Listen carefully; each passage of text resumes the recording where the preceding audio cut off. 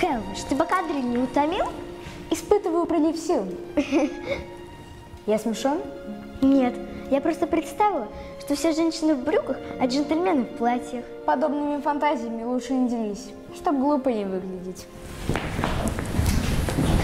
Ох, простите, мисс Клаксон сегодня рассеяна. О чем ты думаешь? О том, каково уметь летать. Зачем думать о том, что человеку невозможно? Почему бы и нет? Мой папа каждое утро придумал шесть чудес и представлял, что бы было, если бы они были возможны.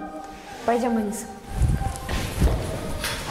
Ровно через 10 минут буду ждать тебя около беседки.